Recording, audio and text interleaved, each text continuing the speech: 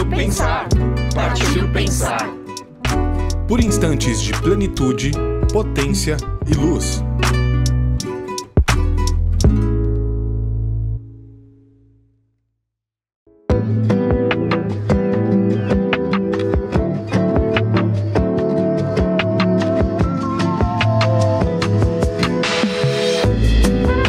senhores, esse é o hashtag Partiu Pensar. Estamos no ar. Hoje é terça-feira, dia de reflexão, dia de pensamento, dia de aprender a pensar, dia de se dar as mãos, dia de caminhar juntos, dia de ir com calma, dia de não resvalar, dia de, enfim, dia de tanta coisa boa. Hashtag Partiu Pensar. Eu começo esse Partiu Pensar propondo que, como nós já dissemos tantas outras vezes, aparentemente há alguma coisa de diferente na vida humana em relação aos demais viventes. Por quê? Porque com os demais viventes, na hora do nascimento a coisa parece mais redonda, mais arrumada, mais ajeitada e o gato já nasce gateando, a tartaruga tartarugueando e a samambaia samambaiando e, e ponto final, a natureza parece fornecer tudo de que precisam para viver dentro da sua espécie. No nosso caso, tal como eu estou calvo de dizer, não funciona assim, a gente nasce meio despreparado, se largarmos, se largados à própria sorte, pereceremos muito rapidamente. E estamos precisando aí de uns 30 anos para ficar pronto. Aparentemente fomos mesmo tirados do forno é, prematuramente e não temos tudo de que precisamos para sobreviver, quiçá para viver bem. Por isso, temos que compensar essa lacuna de natureza e a compensação se dá com os outros, dando as mãos, aprendendo, aprendendo com os outros. Se a coisa é mais organizada, chamamos de educação, se for na instituição escolar, chamamos de educação formal, mas o certo é que estamos aprendendo com todo mundo, porque quando começamos a viver, todo mundo tem alguma coisa para nos ensinar. Pois muito bem, isso já foi dito várias vezes e você também já está enjoado de ouvir. Porém, porém, o que acontece é que quando vivemos com os outros, também somos levados a pensar, às vezes, de modo muito, muito, muito assim equivocado, torto, enviesado, estranho. E o que eu queria destacar nesse nosso encontro dessa terça-feira é justamente essa ideia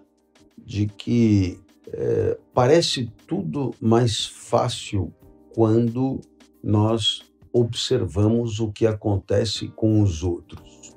Essa é uma primeira ideia interessante. Né? E eu diria que essa ideia nos leva a uma segunda ideia. A ideia de que o número de pessoas bem-sucedidas na sociedade é bem maior do que a realidade dessas proporções. Quer dizer, no final das contas, a gente tem uma fase da vida que ouve música direto, né? E eu tive essa fase da vida que eu acompanhava tudo. Isso aí foi do final dos anos 70 e comecinho dos anos 80. E eu acompanhava tudo, tudo que saía no rádio. Eu adorava Supertramp, eu adorava Queen, eu adorava Alan Parsons Project, eu adorava Electric Light Orchestra, eu adorava Barry White, eu adorava, para falar coisas diferentes, eu adorava Boy George, né, Culture Club, eu adorava é, Sinead O'Connor, eu adorava, eu adorava, é, nossa, adorava tanta gente, mas tanta gente. Né? E, e era bastante gente, né? Era bastante gente, dando a impressão que, assim, se você tivesse algum talento e se dedicasse ao assunto, sobretudo se fosse inglês ou americano, a coisa rodava fácil e, e fazer sucesso era quase que automático. Né? O problema é que, aparentemente, na vida cotidiana, é, quem faz sucesso, quem consegue o que queria conseguir ou vai além do que queria conseguir, chama mais atenção do que quem não consegue. Aparece mais.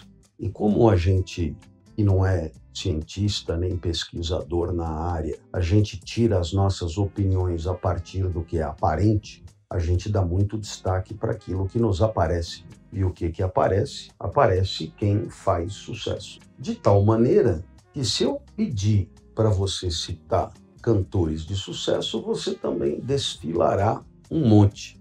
Se eu pedir para você citar cantores profissionais que tentaram, se empenharam, etc., mas foram fracassados, você talvez não saiba citar nenhum. Ora, sendo assim, a impressão que dá é que há uma sobrepopulação de pessoas bem-sucedidas, porque são elas que aparecem, são elas que são entrevistadas, são elas que estão na mídia, são elas que, que têm visibilidade social, são elas que, que são vistas. Portanto, são elas que são consideradas, enquanto que todos os outros, que são em quantidade infinitamente maior, e são em quantidade colossal, que são verdadeiras multidões. Esses não aparecem. E assim, você, dia após dia, tem contato com quem aparece. Quem aparece é porque existe, tem visibilidade e mereceu a atenção, tem sucesso. E não tem contato com quem fracassou, porque quem fracassou é, tem uma existência social muito mais discreta, se não praticamente nula. Então, vamos pegar um outro exemplo. Estamos em época de Jogos Olímpicos né? e é muito interessante observar que, apesar de acompanharmos as pessoas sendo derrotadas nas competições em que os vitoriosos são consagrados, apesar de, no caso do esporte, a gente vê quem perde, a ênfase dada a quem ganha é tão grande que temos a impressão que, que ganhar uma medalha é infinitamente mais automático, óbvio, elementar do que verdadeiramente é. E assim parece escapar da nossa percepção a realidade. A realidade de que quase todo mundo que vai para as Olimpíadas volta de mãos abanando a realidade de que os entristecidos são muito mais numerosos do que os alegres. A verdade é que o choro amargo da derrota é infinitamente mais frequente do que o choro feliz da vitória. E mesmo que a gente, no caso do esporte, veja o derrotado, ele acaba sendo ignorado nas entrevistas, nos pódios, nas lentes, nos gramofones, e aí pouco a pouco ele vai desaparecendo num limbo, num contingente de anônimos que vão se preparar para a próxima. Então perceba que nós temos aí dois exemplos de espaços de atividade em que a luz que não mostra tudo, a luz que é seletiva, o holofote que é filtrado, o holofote que é enviesado acaba fabricando uma crença muito distante da realidade. E qual é a realidade? A realidade é que a chance, a possibilidade ou a probabilidade do fracasso é imensa. Essa ênfase que reduz a visibilidade do fracasso, ela nos faz sobrevalorizar diariamente a probabilidade do êxito, o que nos torna vítimas de uma ilusão. Não nos damos conta que a probabilidade do sucesso é próxima do zero. A obscuridade do fracassado nos impede de ver o quanto a aventura em que estamos nos lançando é sobremaneira mais improvável de êxito do que nós acreditamos em todos os momentos da trajetória.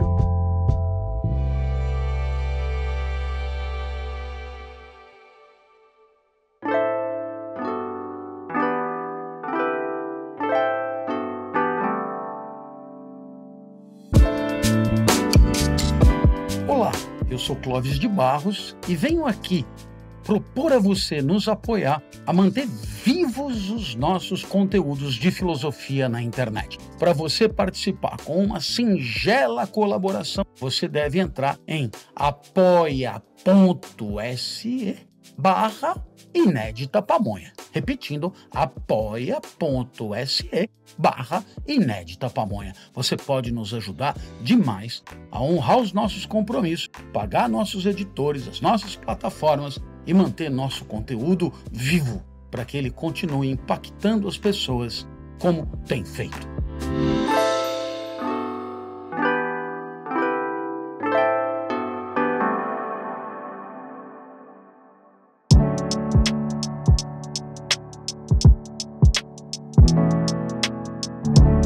Tomemos um terceiro exemplo. Você decide ser escritor. E aí, e aí você escreve alguma coisa. Porque você escreve, porque em algum momento você vê um ranking dos best-sellers, livros mais vendidos na livraria, aquela prateleira dos super lidos. E aí você diz: Ah, vou escrever um livro também. E aí você não tem noção do tamanho do enrosco, porque a imensa possibilidade de você não ser publicado. Imensa possibilidade. E por quê? Porque as editoras elas elas são um empreendimento comercial aflitivo, temerário, difícil, e elas darão primazia, preferência para aqueles autores cujo desempenho já foi comprovado, aqueles autores que já têm o seu público leitor. Então, a probabilidade de você publicar o seu primeiro livro é muito pequena, porque não tendo escrito livro nenhum, você, por definição, não tem ainda público leitor. Mas vamos imaginar que você, apesar de não ser escritor, tem visibilidade em outra área então você vai tentar converter o capital de notoriedade adquirido em outra área, como no esporte, nas artes, no jornalismo, etc., para o mundo editorial. Né? Então você consegue publicar o seu livro. Aí você esbarra num segundo problema. Né? É o problema da editora que, você, que, que, que decidiu te publicar e você faz uma descoberta estranhíssima, a de que vender, vender, vender, vender mesmo, de todas as editoras que existem, são pouquíssimas que conseguem essa capilaridade, essa penetração, essa presença, essa pouquíssimas, pouquíssimas. De tal maneira que muitas editoras não conseguem continuar no mercado Muitas editoras têm vida curta e são justamente essas editoras que costumam apostar em aventuras improváveis. Por quê? Porque os grandes escritores, esses já estão, digamos, amarrados com as grandes editoras. Né? Então você que está começando entra pela periferia do processo e aí acaba caindo numa editora que não consegue colocar seu livro em lugar nenhum consegue.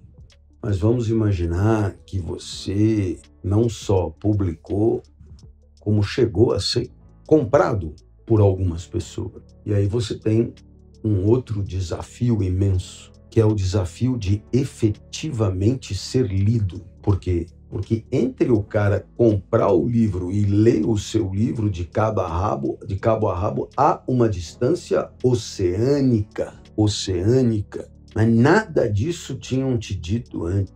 Né? O que você via eram grandes autores aplaudidos, idolatrados pelos seus leitores, em sessões de autógrafo concorridas, mas o resto, o resto você não conseguia enxergar. E o que é mais dramático é que agora você consegue enxergar, mas na sua própria pele. Na escuridão, você vê que é você e faz parte dela, junto com centenas, milhares de anônimos que você de vez em quando esbarra aqui e acolá.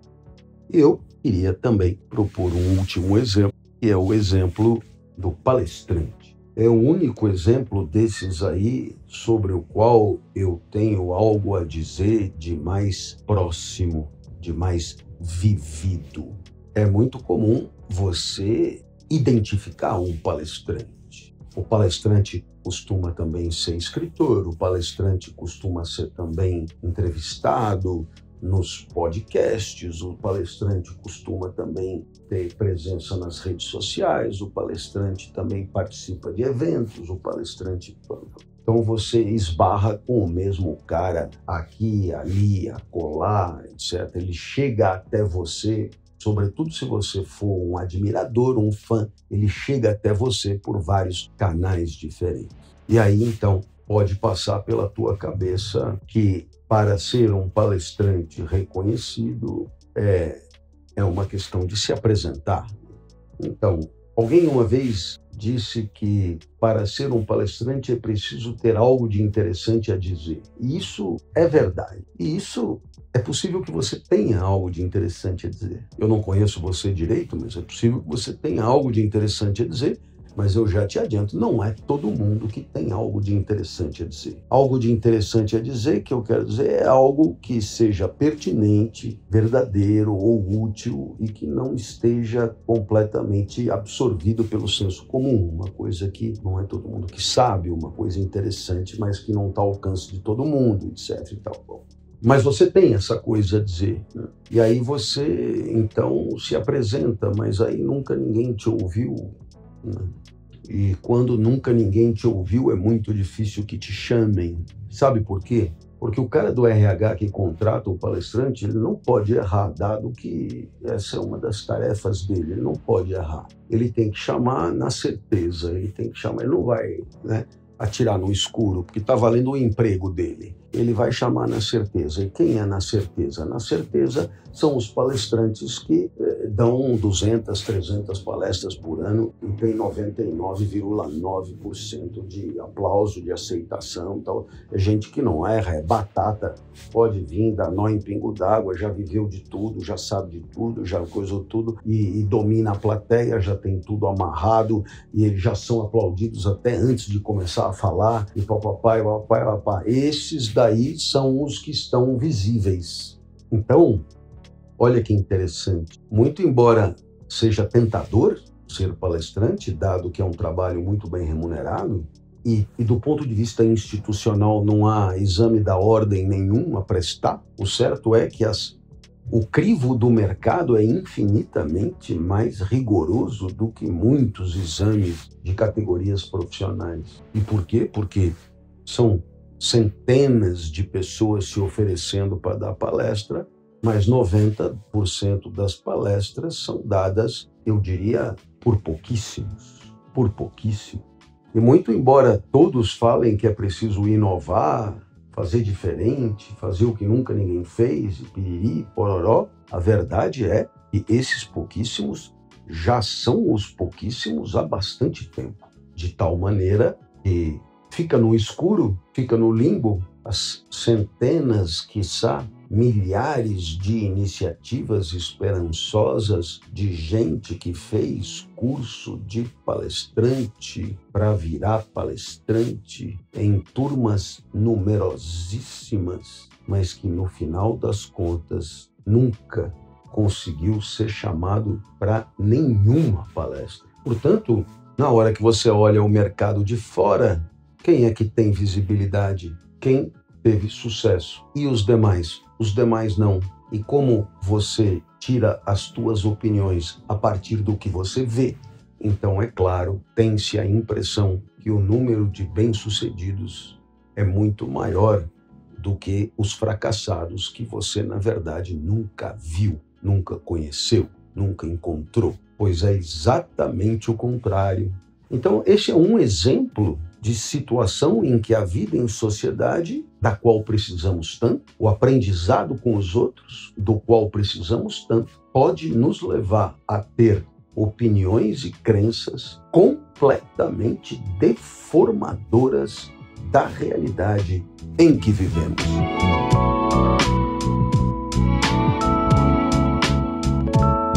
Eita, que beleza! Fomos devagar e acabamos falando bastante, mas não tem importância. Esse foi o nosso hashtag Partiu Pensar. Se você gostou, ouve de novo. E se você gostou, muito. Convide alguém para nos acompanhar, alguém que você acha precisa ouvir isso também. Um beijo grande, valeu!